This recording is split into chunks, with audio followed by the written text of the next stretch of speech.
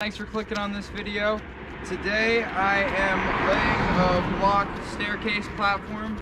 In this video today I'm going to show you how to figure out your measurement, mark that measurement on the block, cut the block, and a couple tips on how to lay that block in. Alright, so I'm at the closure part of my wall here. I need to get my measurement. So what I do is put my tape here and it says 13 now, I don't want to make my cut exactly 13 inches because there will be no joint for the mud. And your average joint on your mud is 3 eighths. 3 eighths plus 3 eighths is 6 eighths, which is 3 quarters. So you need to make room for 3 quarters of an inch for your joints. So 13 minus 3 quarters is 12 and a quarter. And that's for every single time you're meeting two walls together. So no matter the measurement, 12, 6 and a quarter, 3 and 5 eighths, you always subtract 3 quarters of an inch when there's a joint on both sides of your cut.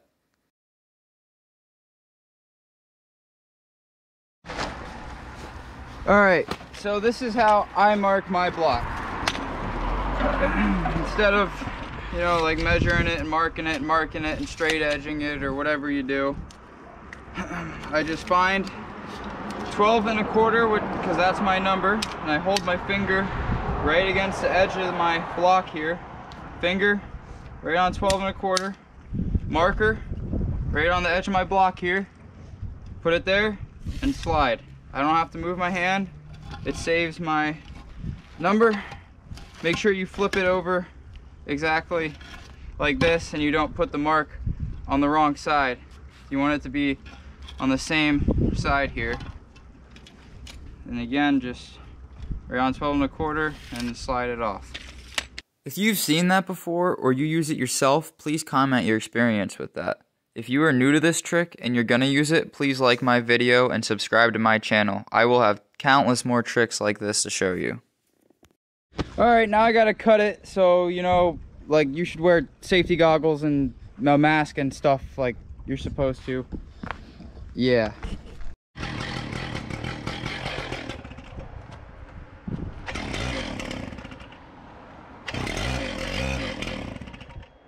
Don't you hate when that happens? Once you get your saw started, the first thing I do is put my left foot on the bigger side of my block. That will keep the block still and the saw won't throw it into me while I'm cutting it. Then I hold the saw as straight as possible and trace that line I made with the saw blade. This will help me keep the cut super straight. Then I come back to the start and bury the saw through the whole block. I set the saw down for safety when I flip the block, that way I don't have anything happen by accident and I get hurt. And the same thing every time. Foot on the block, hold it straight and trace, come back and bury it. And that is how I cut a block with a chop saw.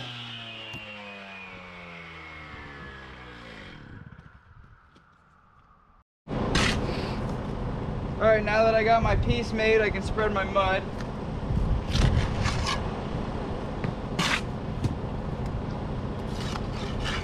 And I can only put a head on this side of my block.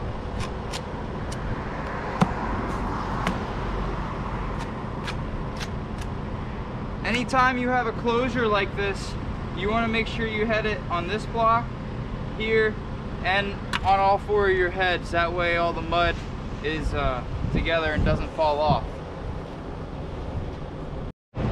So I can't head this side, so it'll be fine. I just gotta put heads on my block.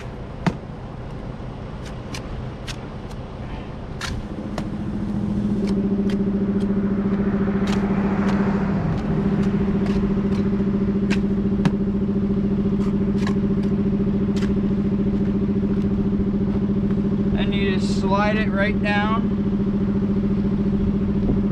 Notice how this side where I didn't head, all the mud just squished out. And on this side, there's all that mud in there. And that's why I head up all four sides of my block. So this side right here is completely filled with mud because I headed the block and the cut. And this side over here, I couldn't head the wall, but I headed the cut and all the mud got squished out. Then if you're using a string or a level or whatever, just make sure you level it and it's all straight and good.